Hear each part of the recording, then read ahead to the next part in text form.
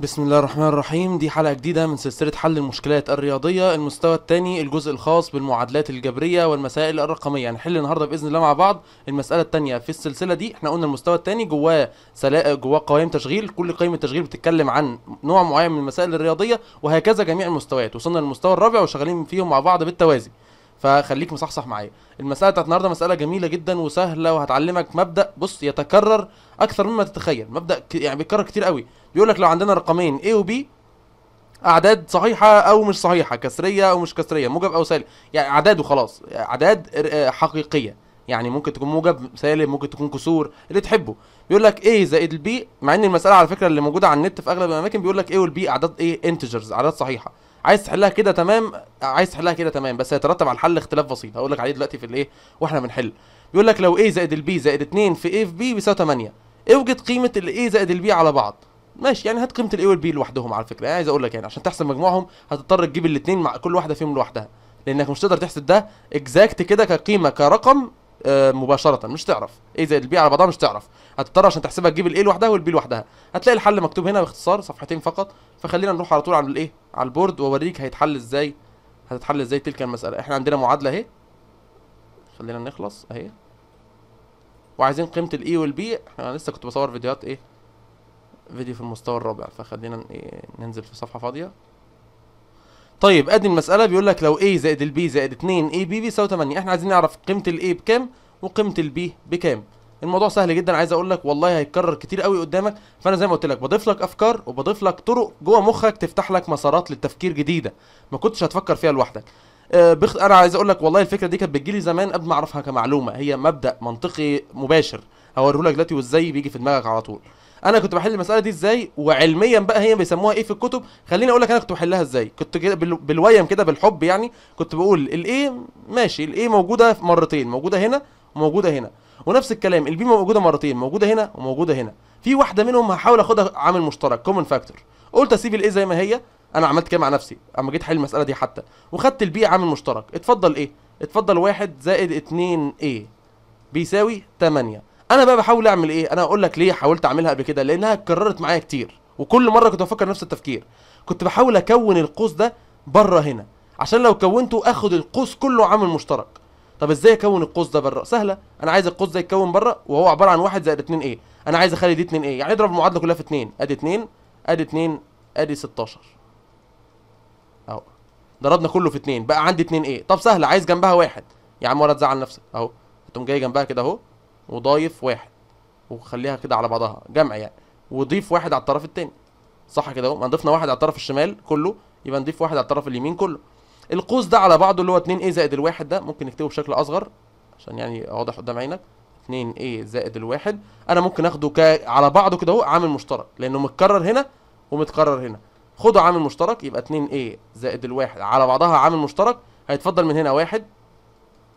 زائد هيتفضل من هنا إيه؟ ده هيتاخد عامل مشترك هيتفضل اللي جنبيه اللي هو 2 b بس كده. يبقى 2 a زائد واحد. في 2 b زائد واحد ممكن نكتبها بقى بشكل أنضف.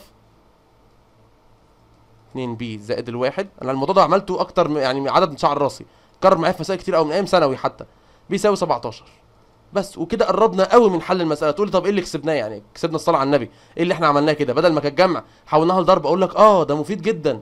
خلي بالك من حتة مهمة قوي المسألة هنا بيقول لك حل حل لي المسألة دي وهات قيم A و B اللي تحققها.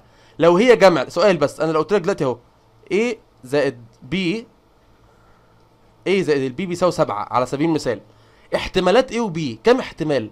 هل ينفع أشتغل حل المسألة دي بالاحتمالات؟ تقول لي لا صعب قوي لأن ال A وال B كده هو ممكن يبقوا عبارة عن إن ال A مثلا بواحد خلينا نقول ال A بصفر وال B بسبعة. أدي أول احتمال. ممكن ال A بواحد وممكن ال B بستة. لو جمعتهم يديك سبعة برضه. ممكن ال A باتنين وممكن ال B بخمسة. شوف كام احتمال. هيطلع احتمال كتير قوي. ده بقى كل ده لو إيه؟ ده لو أعداد صحيحة. ما بالك لو كسرية هتبقى مصيبة. طب بص بقى لو أنا قلت لك كده أهو. لو أنا قلت لك نفس المسألة بس قلت لك بدل جمع قلت لك كده أهو. ال A في ال B بيساوي 7 الاحتمالات بقت أصغر بكتير قوي. عارف إيه؟ ليه؟ لأن اولا السبعة ده عدد أولي فهيسهل عليا الليلة جدا. ممكن أقول وحتى لو مش أولي هيبقى ليه برضو عدد محدود من الاحتمالات. السبعة عبارة عن كام؟ عبارة عن واحد في سبعة لأنها أولي. أو ممكن نقول استنى القلم بيعلق كتير زه- زهقت. معرفش اعمل إيه والله. الراجل رحت عملت نسخة بوظ لي الجهاز. أو ممكن نقول إنها عبارة عن سبعة في واحد عشان يعني تبقى دي بدل دي. ممكن نقول إنها عبارة عن سالب واحد في سالب سبعة أو سالب سبعة في سالب واحد. مفيش احتمالات تانية خالص. هو ده السبعة. السبعة عدد أولي. فكده يا إما ال A بواحد وال B بسبعة يا ال A بسبعة وال B بواحد يا ال A بسالب واحد وال B بسالب سبعة يا ال A بسالب سبعة وال B بسالب واحد. جبنا أربع احتمالات في ثانية لأن الضرب بيسهل عليك العملية جدا. الضرب لما يكون حاصل الضرب بيساوي رقم خاصة لو رقم أولي الاحتمالات اللي هتطلع للحل احتمالات محصورة. حاجة من الأربعة دول. يا الرقم العدد الأولي هو إيه؟ العدد اللي ما يقبلش القسمة غير على نفسه على الواحد يعني أي عدد prime أي عدد أولي نرمز له P مثلا ده بيبقى عبارة عن حاصل ضرب حاجتين. واحد في نفسه أو نفسه في الواحد أو سالب واحد في سالب نفسه أو سالب نفسه في سالب واحد. مفيش احتمال غير دول. أربع احتمالات لا خامس لهم. افهم كده. فلو طلع لك عدد أولي وبيساوي حاجتين مضروبين في بعض اعرف إن الحاجتين دول ليهم أربع احتمالات ما لهمش خامس. خلصنا المسألة. فأنا هنا عملت إيه؟ أنا قلت والله ال- الشكل الجمع ده ليه احتمالات كتيرة جدا مش هعرف أحسب منه ال A وال B فقلت طب ما وقدام بالنظر كده وبص الحبل بيسلم بعضه خطوة بتسلم الثانية وال B مشتركة بين الترمين دول ما ناخدها common factor خدتها قلت طب ما أخلي القوس ده كله يتكرر بره ما أنا أقدر أعمل ده. لما اتكرر خدت القوس كله common factor طلع القوسين مضروبين في بعض وقدرا اللي عمل المسألة هو قاصد.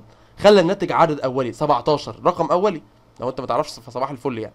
ال 17 دي عبارة عن كام؟ في كام؟ عبارة عن واحد في 17 أو 17 في واحد أو سالب 17 سالب واحد في سالب 17 أو سالب 17 في سالب واحد. مفيش احتمال غير الأربعة دول.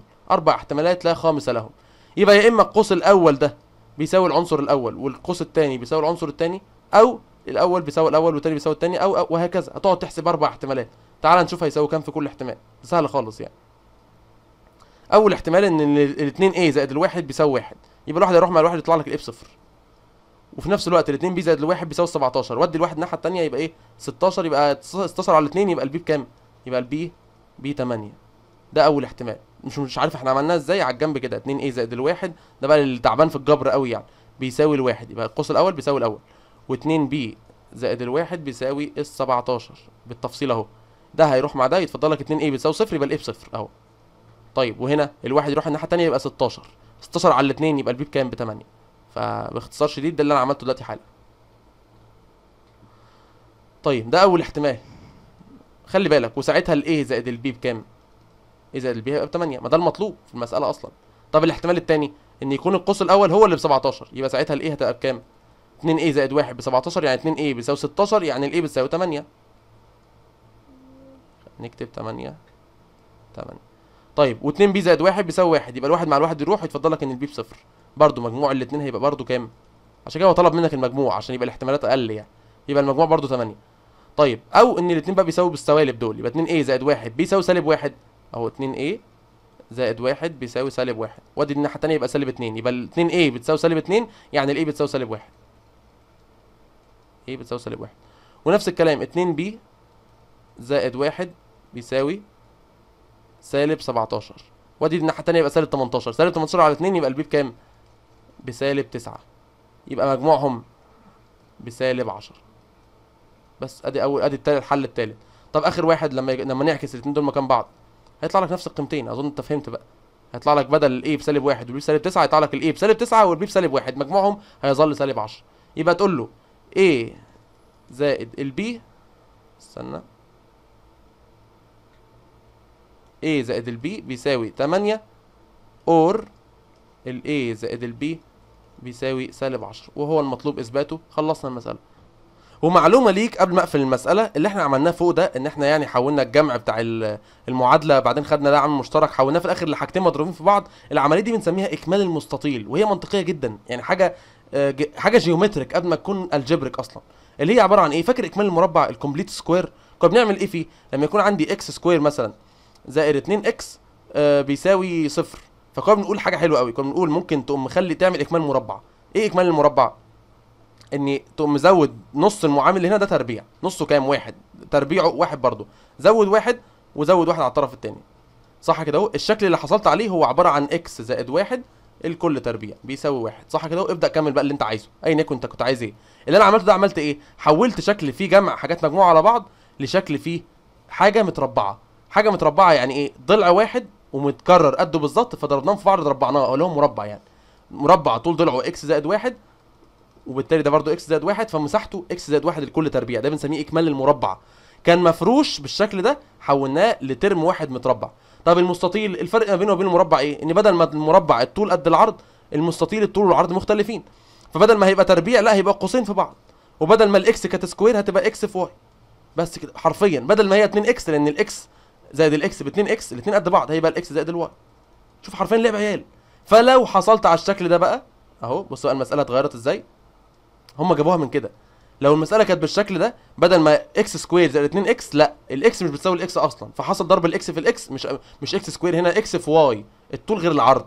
وحصل جمع الاكس على الاكس كان 2 إكس هنا الاكس زائد الواي مش بيساوي بعض.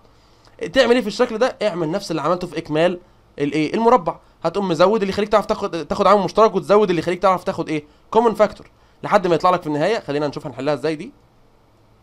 أنا بعمل إيه؟ آه. شيل كل اللعبكة دي. شيل شيل شيل كله. نفس المنطق بالظبط. هتقوم قايل آه، أقدر آخد مثلا ال y عامل مشترك. هيتفضل x زائد واحد. زائد ال x بيساوي صفر. طب ما تزود واحد وتزود واحد الناحية التانية. كده الاكس زائد واحد متكرر خد الاكس زائد واحد دي. عامل مشترك. هيتفضل y زائد الواحد كل ده بيساوي واحد. وعيش حياتك. لأن يبقى ده الطول وده العرض أو العكس. يبقى ده إكمال مستطيل. نفس المبدأ بالظبط شبه إكمال المربع اوعى تفكر إحنا لازم نعمل سلسلة عن الحوار ده. أنت فكر إكمال المربع دي يعني إيه مثلا؟ أنا عايز أعرف دماغك جابتها إزاي. ما هي حاجة جيومتريك البشر عبروا عنها. هي مفهوم في الذهن ومفهوم في الواقع. وبعدين عبرنا عنها بشوية رموز. الموضوع ليس إلا والله يا ابني. فلو فاهم الحاجات دي إنها أشياء كده خيالية يبقى أنت محتاج تراجع نفسك. لا الرياضة مش كده. فاهم الفكرة إيه؟ فدي نفس الأمر. شفت الموضوع سهل إزاي؟ عملناه ليه؟ عشان الرقم اللي نتج في الآخر كان أولي فسهل قوي نحصر احتمالاته. شوف المسألة تافهة إزاي؟ سهلة قوي والله سهلة جدا كمان ما فيهاش أي إعجاز يعني. فكده خلصنا المسألة دي وأظن استفدت. قول لي في التعليقات وربنا معاك ويوفقك. واقرأ الخاتمة ونقابل في المسألة الجاية بإذن الله. والسلام عليكم ورحمة الله وبركاته.